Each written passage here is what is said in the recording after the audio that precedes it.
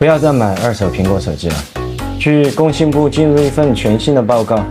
国产手机上半年总共生产了五点七亿台，而上半年只出货了一点三亿台，还有四亿台的库存。买二手苹果手机本质上就是图一个性价比，便宜、耐用、好用。因为现在的人其实大部分都比较务实，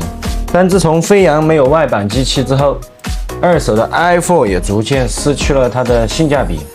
春江水暖鸭先知，像我们这种做回收的就知道，没有外版的低价机和我们做竞争的话，像这种两千档左右的机器，什么 XR 啊、X S Max 啊、十一啊、十一 Pro 啊这些玩意儿，一台原地升值一顿火锅钱。而且最近我也被那些饥渴的如狼似虎的同行洗劫一空。至于十二全系列和十三的全系列，价格倒是变化不大，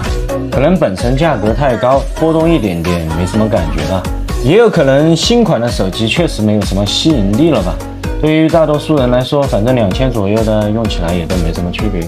说到这里啊，就是有没有一种可能啊，就是我只是说一种可能啊。